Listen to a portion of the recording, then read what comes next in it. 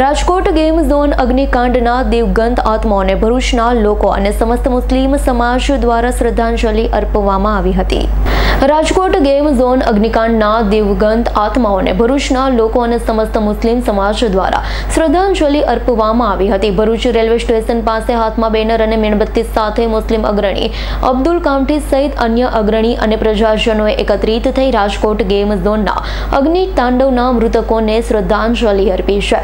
મૃતકોના આત્માની શાંતિ માટે તેઓના પરિવારજનોને આ વ્રત ઘાત સહન કરવાની શક્તિ આપે. તે માટે પ્રાર્થના કરવામાં આવી હતી. ઉપસ્થિત દ્વારા હોનારતના જવાબદારો સામે કાર્યવાહીની માંગણી કરવા સાથે આ રીતે મંજૂરી વિના ચાલતા ફન વર્લ્ડ ગેમ ઝોનના સંચાલકો સામે પણ કાર્યવાહી કરી. ભવિષ્યમાં આવી દુર્ઘટનાનું પુનરાવર્તન ન થાય તે જોવાની પણ તાકીદે કરાઈ હતી. આ તારીખ પચીસ પાંચ બે હજાર ચોવીસ અને શનિવારના રોજ જે રાજકોટ ખાતે દુઃખદ દુર્ઘટના જે બનેલી છે, જેમાં આગની હોનારતમાં ત્રીસથી બત્રીસ જેટલા લોકો, નાના બાળકો અને એના માતા પિતાઓ આ આગની ઝપેટમાં આવી અને આ લોકોના મૃત્યુ નીપજેલા છે. અમે સમસ્ત ભરૂચ જિલ્લાના લોકો તરફથી અને મુસ્લિમ સમાજ ભરૂચ જિલ્લા તરફથી આજે આ જેટલા પણ મૃત્યુ પામેલા છે રાજકોટ આગની દુર્ઘટના.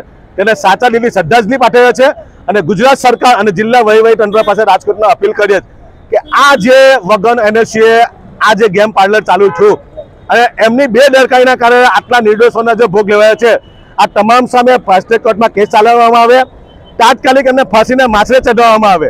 જેટલા પણ છે, કોઈ પણ ધર્મનો હોય, જાતિનો હોય, એને બક્ષવામાં ન આવે. કેમ કે આજે તમે જો બત્રીસ બત્રીસ લોકોના, નાના બાળકોના અને પોતાના માતા પિતાના જીવ ગયેલા છે.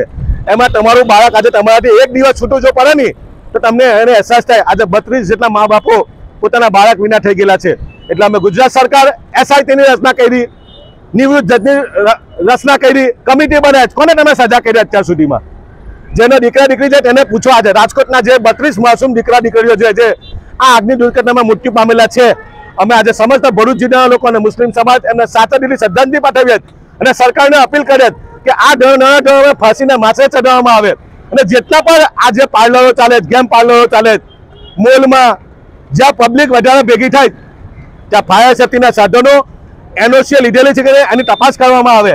આપણે તો તબેલાને ત્યારે ટાળું મારવાની કહે જ્યારે ગોળા છૂટી જાય તબેલાને ટાળું મારીએ સરકાર મોટા મોટા વચનો આપે છે. સહાય આપે આનો કોઈ મતલબ નથી હતો અમે સમસ્ત ભરૂચ જિલ્લાના લોકો અને મુસ્લિમ સમાજ અને આ દીકરા દીકરીઓને અને મુટ્ટી પામેલાને તમામ લોકોને સાથે શ્રદ્ધાંજલિ પાઠવ્યા છે અને સરકાર પાસે માંગ કરે છે તમામની સામે ફાસ્ટેગ કોર્ટમાં કેસ ચલાવવામાં આવે, એમને ફાંસીના માથે ચડાવવામાં અને ભરૂચના પણ જેટલા પણ ટ્યુશન ક્લાસીસો ચાલે જેટલા ગેમ પાડવા ચાલે આનું નિરીક્ષણ થવું જોઈએ. એમની પાસે એનઓસી છે કે નહીં ફાયર સેફ્ટીના સાથે થઈ એવી અમારી માંગ છે. અને ફરી વખતે અમે સમસ્ત ભરૂચ જિલ્લાના લોકો અને મુસ્લિમ સમાજ ભરૂચ જિલ્લા આ આગમાં મૃત્યુ પામેલા તમામ લોકોને સાત દીદી શ્રદ્ધાંજલિ પાઠવીએ છીએ. રિયાઝ પટેલનો report S nine news Bharuch. અમારી તમામ માહિતીથી અપડેટ રહેવા માટે જોડાયેલા રહો એસ નાઇન ન્યૂઝ સાથે.